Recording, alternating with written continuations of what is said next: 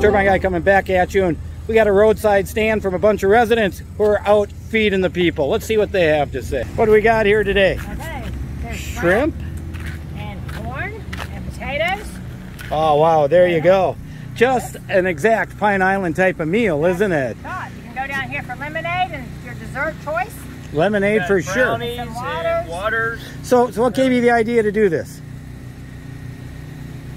Um, the trailer is, is my trailer, and uh, I had a vision about four years ago because I'm tired of drowning in water. So now this is steaming. So everything is not. You get your omega threes, you get your, all your vitamins.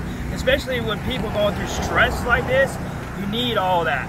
So uh, and it does very good volume at a short time. So um, I'm really pleased with the, with the turnout that it did, and um, I. Uh, I, I, I, the I, shrimp. I'm, I'm a, sh- I, I'm a commercial shrimp fisherman. Yeah, I'm a commercial so, fisherman. so you're bringing what you do here to the people. Yes, Yes. Just like I am. I'm a YouTuber, and I'm trying to show people what's going on. exactly. So. So- he's a member of our church that was coming down, so he joined the, the caravan to come down and Where are you from? Uh, Keystone Heights, Florida. It's uh, in between ja- uh, Gainesville and Palatka. And We're thir- 30 minutes east of Gainesville. Sure, So. yeah, sure. right there in North Florida. Well, there you go, folks.